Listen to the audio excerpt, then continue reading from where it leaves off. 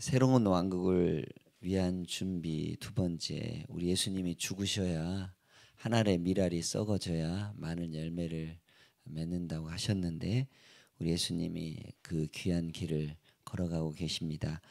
어, 주제가 많이 무겁고 또한 예, 우리가 예수님의 그 고난을 생각할 때 예수님의 그 참혹한 그 십자가를 생각할 때 우리는 겸손히 우리 더 내려놓고 우리의 삶을 더 주님의 은혜를 생각하면서 음, 나아가야 될 줄로 믿습니다. 제자들과 함께 겟셋만에 하는 곳에 이르렀습니다. 겟셋만에는 어, 기름 짜는 틀입니다. 땀방울이 핏방울 되도록 기도하신 그 장소죠. 어, 아마도 동산 입구에서 여덟 명의 제자들에게 앉아서 기다리라고 지시하시고 예수님과 세 명의 제자들은 더 깊숙한 곳에 들어가십니다. 베드로와 어, 야고보와 요한입니다. 언제든지 예수님과 동행하는 사람, 가까이 밀착하는 사람 그렇습니다. 어, 우리도 어, 예수님과 멀찍이 떨어져서 가는 게 아니라 예수님과 늘 가까이 예수님 옆에 예수님과 동행하고 예수님의 마음을 헤아릴 수 있는 사람, 또 예수님의 뜻을 실천할 수 있는 가장 그러한 측근이 되기를 원합니다. 예수님께서는 기도하셨죠. 번민과 염려 혹은 죄책감으로 병들었을 때 우리가 기도가 최우선 순위의 목록에 들어가야 할 줄로 믿습니다. 우리 예수님 보니까 고민하고 슬퍼하사 제자들도 그랬습니다. 우리 예수님도 마음이 매우 고민하여 죽게 되었다라는 아, 그런 표현을 하고 있습니다. 예수님의 인성이 드러나고 있는 부분이죠. 예수님은 신성과 인성 두 부분이 있는데 어, 예수님은 고통도 느끼실 수 있고 기쁨도 느낄 수 있고 그렇습니다. 우리 인간하고 똑같습니다. 그렇기 때문에 우리의 마음을 헤아리고 우리의 마음을 가장 잘할 수 있는 분이 바로 예수님이지 않을까 생각합니다. 그러면서 음, 다른 복음서에서는 어, 여덟 명의 제자들은 저 아래에 있고 또 세 명의 제자들은 중간에 또 띄워놓고 예수님 홀로 이렇게 가십니다. 돌 던질 만큼의 그러한 어, 거리였다라고 어, 기록하고 있는데 예수님이 거기에서 뭐라고 하시냐 나와 함께 깨어 있으라라고 합니다. 우리 계속해서 깨어 있으라는 말을 많이 예, 어, 요새 이렇게 본문에서 보고 있습니다. 음, 마귀가 우는 사자와 같이 잠들고 또 나태하고 있는 그러한 사람들을 향해서 늘 공격해 오기 때문에 그렇습니다. 그렇기 때문에 깨어라 근신하여라 때가 악하다라고 이야기를 하고 계시는데 우리는 늘 깨어 근신하여 기도해야 되겠죠. 특별히 기도의 천병, 기도의 파수꾼들은 더욱더 그래야 될 것입니다. 잠들지 않고 깨어서 하나님 앞에 기도하는 것 너무나 중요합니다. 예수님 조금 나아가서 얼굴을 땅에 대시고 엎드려 기도하여 이르시되 얼마나 마음에 이런 고민이 가득하였으면 땅에 엎드려서 기도한 여러분들 그 겟셋만에 기도하는 그 예수님의 성화 장면 보시죠. 바위 위에서 이렇게 예수님이 그렇게 기도하시는 그러한 성화를 많이 예, 우리는 예, 보하고 접할 수 있습니다. 음, 이렇게 정말 중요한 일을 앞두고 예수님이 간절히 기도하시는 모습, 또 엘리야가 어, 일곱 번 땅에 이렇게 무릎 사이에 자기 얼굴을 놓고 기도하는 그러한 우리 장면들을 생각해 보면서 어, 기도의 중요성에 대해서 정말 기도의 심각성에 대해서 기도의 간절함에 대해서 우리는 배우게 됩니다. 예수님은 이렇게 기도합니다. 우리가 읽은 말씀처럼 내 아버지여 만일 할만하시거든 이 잔을 내게서 지나가게 하옵소서 그러나 나의 온대로 마시옵고 아버지의 온대로 하시옵소서 아버지의 뜻을 구하는 기도 주기도문의 기도가 무슨 기도입니까? 아버지의 뜻을 구하는 기도죠. 예 그리고 어, 나의 필요한 것을 나중으로 구하는 기도 어, 기도와 간구 이것을 잘 구분하고 하나님의 뜻과 나라와 이름을 위해서 기도하고 그렇게 행하고 순종할 때 나머지 것들은 다 채워지는 겁니다. 하나님의 나라와 의를 위해서 우리가 살아가면 또한 우리의 필요한 것들 먹고 마시고 입는 것 다 채워 주십니다. 내 생각 내려놓고 내 뜻 내려놓고 내 목표 내려놓고 아버지의 뜻이 이루어지기를 기도하시는 예수님 참으로 우리가 본받아야 할 기도인 것입니다. 오늘 집을 나서기 전 기도했나요? 오늘 받을 은총을 위해 기도했나요? 우리가 많이 이렇게 부르는 찬송입니다. 하나님, 하나님의 뜻이 우리 가운데 이루어지기를 원합니다. 어, 세상은 세상의 그러한 사람의 뜻과 주관에 따라서 움직이려고 합니다. 그러나 갈수록 무질서요, 어, 평화가 없습니다. 깨어집니다. 인간은 욕심이고 죄성이 가득하기 때문에 그렇습니다. 그러나 아버지의 뜻을 구하는 기도, 아버지 뜻이 이루어지는 그러한 이 땅, 이게 바로 하나님이 원하시는 나라인 줄로 믿습니다. 아버지의 뜻대로, 아버지의 말씀대로 행했을 때 어, 복락원인 것입니다. 그러나 내 뜻대로, 내 주장대로, 내 생각대로 죄가 들어오는 순간 신락원인 것입니다. 낙원을 잃어버리는 것이죠. 우리 마음 속에 우리 예수님의 나라가 임하고 예수님 뜻이 임하고 또한 예수님의 온전한 것이 이루어질 때 그것이 평화가 되고 평안이 될 줄로 믿습니다. 제자들도 얼마나 고민하고 슬펐던지 이렇게 기도하지 못하고 이렇게 자는 것을 봅니다. 베드로에게 말씀하시죠. 나와 함께 한 시간도 이렇게 깨어 있을 수 없더냐라고 합니다. 예, 예수님도 같이 기도하자. 어, 정말 이 어려운 이 순간에 우리가 같이 기도하자 이렇게 예수님도 이야기를 하고 있죠. 어, 나와 함께 한 시간도 깨어 있을 수 없느냐 레릴이라는 미국의 목사님 이 책을 어, 이 본문을 가지고 쓰셨는데 어, 여러분들 한 시간 어, 정말 기도하는 거 쉽지 않지요. 그러나 우리가 24시간에 어, 11조를 어, 드리는 마음으로 우리가 하루에 이렇게 기도한다면 하나님은 여러분들의 영도 충만하게 해주시고 또 여러분들의 삶도 복되게 해주시고 또 하나님의 뜻이 우리 가운데 온전히 이루어질 줄로 믿습니다. 이렇게 세 번 기도합니다. 동일하게 예수님은 다른 것 기도하지 않습니다. 아버지의 뜻. 이 고난의 잔이 얼마나 힘든지 아셨기 때문에 이 고난의 잔을 옮길 수만 있으면 옮겨달라라고 우리 예수님이 이렇게 기도하시는 걸 보면 아, 예수님의 아, 그 고통을 고스란히 우리는 느낄 수 있다라는 생각을 해봅니다. 아, 우리가 다 할 수 있는 것 같지요? 아닙니다. 우리는 연약합니다. 우리는 부족합니다. 그러기 때문에 공동체가 필요하고 우리 연약함을 내려놓고 나 이렇게 이런 어려움이 있다. 나 이런 정말 슬픔이 있다. 그렇게 함께 나누면 여러분들 그 슬픔은 어떻게 돼요? 줄어들지요. 기쁨을 나누면 어떻게 돼요? 예, 배가 되는 겁니다. 그렇습니다. 우리 가운데 여러분들 완벽한 사람 없습니다. 우리 가운데 다 잘할 수 있는 거 없습니다. 그러나 어, 두세 사람이 함께 공동체를 이루어서 슬픔을 나누면 반이 줄어들고 또 기쁨을 나누면 배가 되는 은혜가 있는 줄로 믿습니다. 이렇게 예수님이 세 번 이렇게 기도하는데 제자들은 다 졸고 힘듭니다. 지금까지 걸어온 여정이 너무나 힘들었기 때문에 그렇습니다. 근데 예수님께서 이제 너희들 쉬어라. 인자가 죄인의 손에 팔리느니라 일어나라 함께 가자. 보라 나를 파는 자가 왔다. 그 임박한 때를 이야기를 하는 거지요. 여러분들 기도해야 된다는 의지는 있는데 여러분들 기도할 수 없을 때 주님을 더 여러분들 바라보시고 여러분들 그냥 간단한 것이라도 있는 모습 그대로 받아 주십시오. 주여 이렇게만 불러도 우리 주님은 우리의 모든 것을 하시고 치료하시고 은혜를 더해 주실 줄로 믿습니다. 이러한 때 누가 옵니까? 가론 유다가 오지요. 예.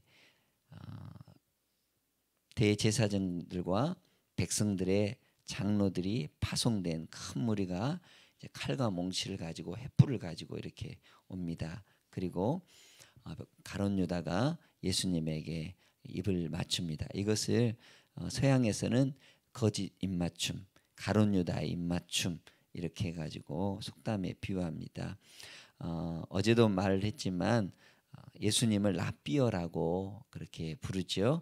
49절에 예수께 나와 라비어 안녕하시옵니까 하면서 입을 맞추죠. 그랬더니 예수님의 대답은 어떻습니까? 이르시되 친구여 내가 무엇을 하려고 왔는지 행하라 친구라고 이야기를 합니다. 랍비라는 호칭을 부르고 있는 유다에 비하면 예수님은 친구라는 호칭을 쓰고 있지요. 이것은 변절자마저도 사랑하시는 우리 예수님의 끝없는 이 사랑을 표현하는 것입니다. 아, 이때라도 여러분들 우리는 예수님의 그 사랑을 우리는 본받을 수 있습니다.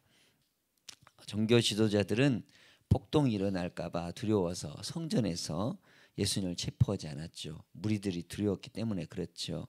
그래서 어둠의 신 사단의 지배를 받으며 밤에 몰래 왔던 것입니다. 하나님의 계획대로 모든 것이 진행되고 있었죠. 이제는 예수님께서 고난 받으시고 죽어야 할 시간이 임박해 있습니다. 이때 어, 예수님은 음,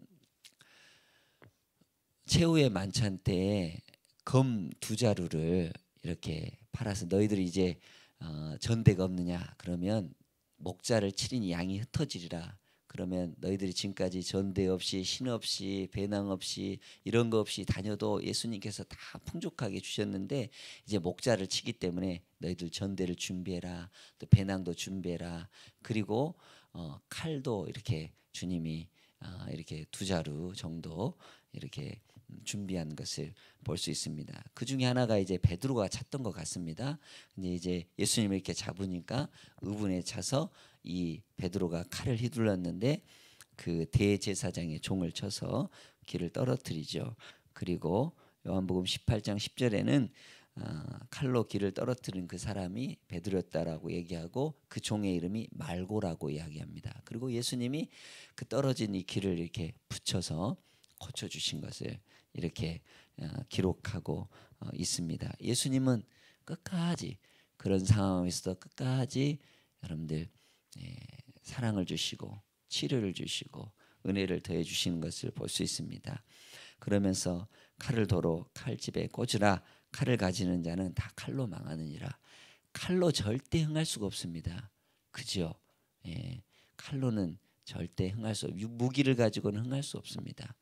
온유함으로 또한 겸손함으로 나갈 때 그것은 결코 승리라는 거예요. 강한 듯하지만 강하지가 않는 거예요. 온유함과 유순함이 더 강하다는 사실. 우리 크리스찬들은 어떤 일에 대해서 싸움을 벌리는 것이 아니라 참고 인내하고 받아들여주고 침묵을 지키고 그러면 우리 주님께서 나중에 그것을 어, 다 반전시켜 주시고 또 어, 이루어 주시고 승리케 해 주신다는 사실을 우리는 기억할 줄로 기억해야 될 줄로 믿습니다. 자, 제자들은 이러한 상황에 다 두려워서 예수를 버리고 도망합니다. 예, 우리 56절 어제 읽었던 그 말씀 그대로죠. 너희들이 다 나를 버리리라 했을 때 베드로는 절대 죽는 데까지 따라가겠습니다. 장담을 했고 제자들 역시 다 그렇지 않겠다 버리지 않겠다라고 다 맹세했는데 다 버리죠. 여러분들 같았으면 어떻게 하시겠어요? 이런 상황 같으면 예, 아마 저도 장담을 못할 것 같아요. 어, 차종순 선교 목사님이 그 우리 호남 인물사 이렇게 얘기해 주시면서 어, 이렇게 뭐 손양원 목사님 그런 얘기 해 주셨잖아요. 주기철 목사님의 손자의 그 간증을 제가 들어본 적이 있는데 이제 아버님을 통해서 이렇게 들은 어, 오정의 사모님 그리고 주기철 목사님 1944년 4월 21일 평양의 감옥에서 예, 순교하시게 되죠.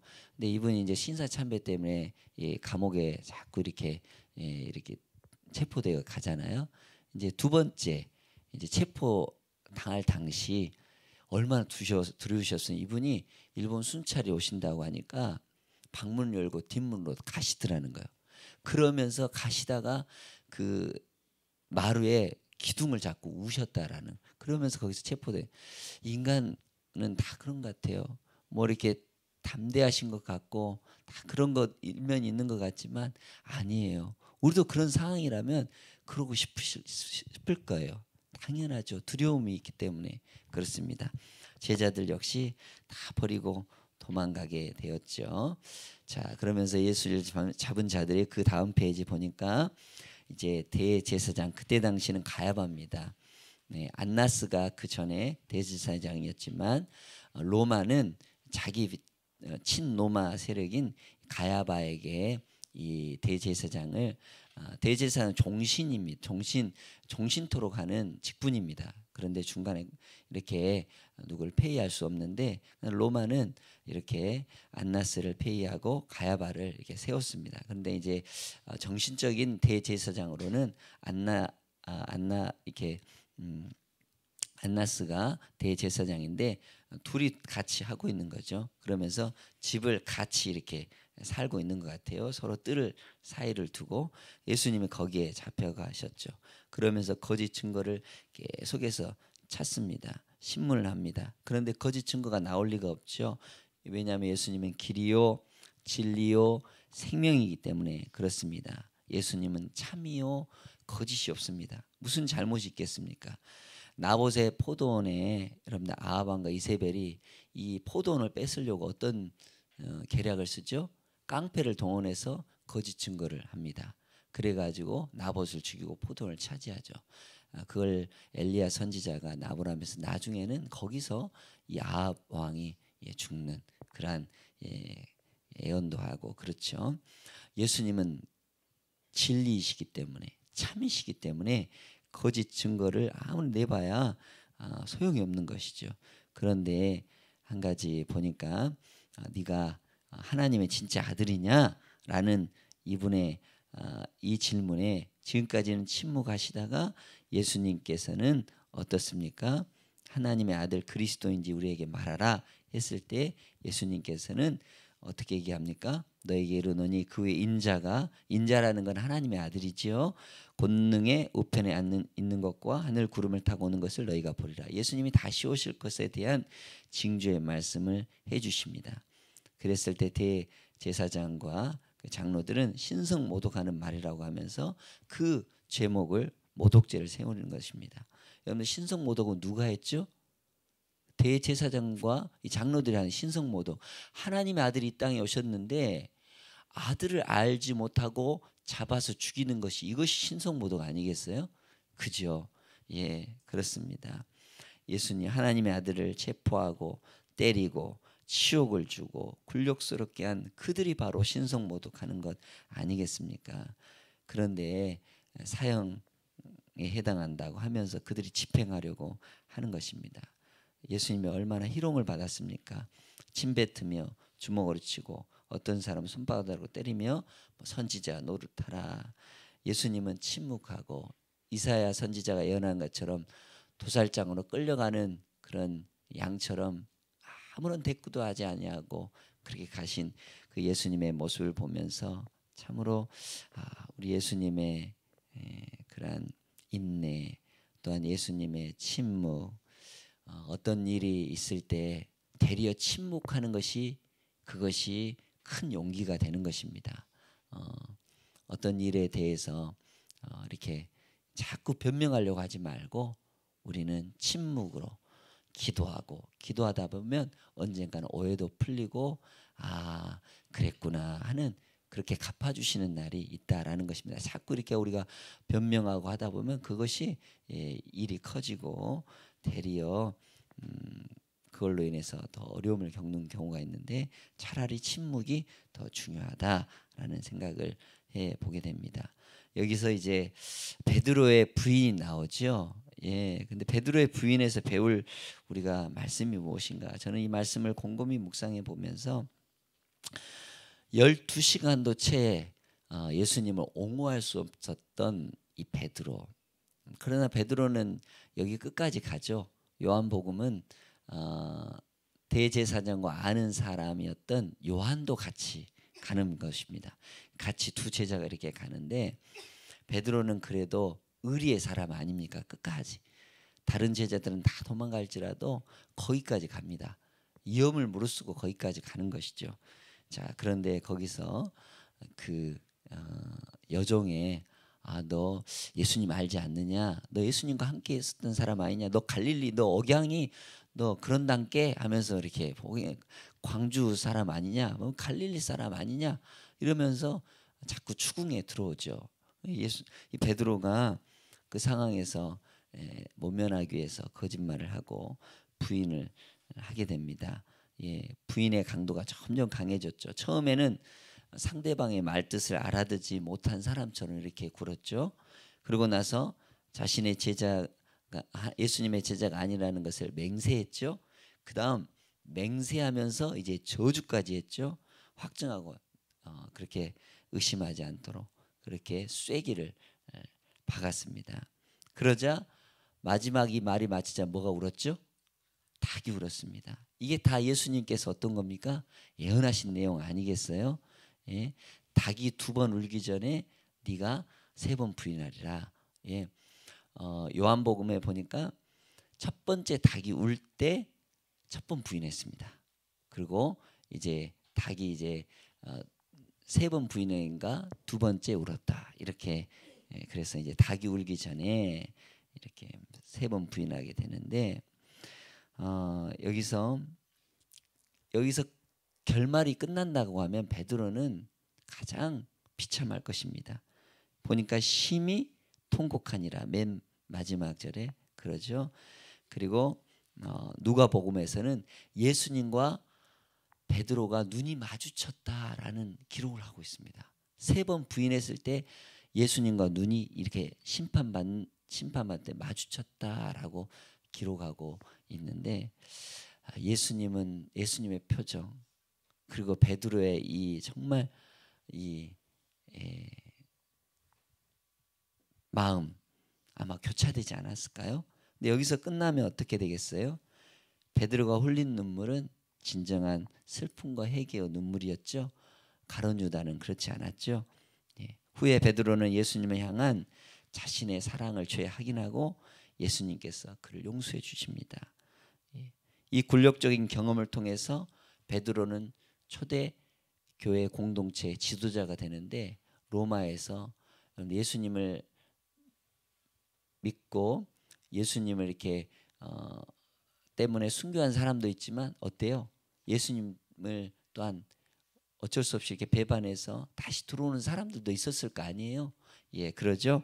이 굴욕적인 경험을 통해서 베드로는 자신이 후에 갓 시작된 이 어린 교회의 지도자로서의 많은 유익을 주었을 것입니다.